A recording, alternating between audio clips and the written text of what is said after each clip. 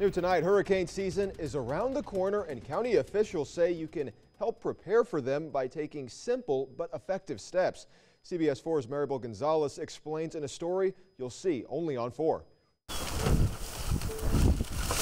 It's a sight that passerbyers will likely see on a daily basis. Cleanup crews diligently picking up trash. Right behind me, you can see cleanup crews picking up debris in this rural area in Edinburg. They're picking up plastic bags, aluminum cans, and pretty much anything that you can think of.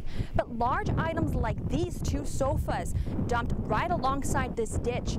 City officials tell me this is not an uncommon sight to see.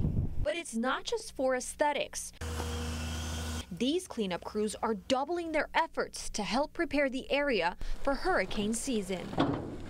Raul Sesin, general manager for Hidalgo County Drainage District 1, leads these efforts.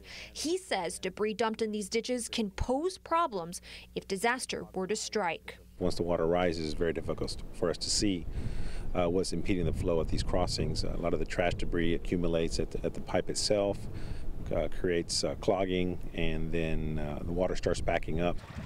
During flooding, pipes like these usually take about 48 hours for water to recede. And it's not just the immediate areas that can be affected. If it starts clogging here, it could back up into uh, the, the urbanized area and, and, into the rural development areas as well, which compounds the problems. Sesin and his crews have seen large furniture dumped along these canals all around the valley.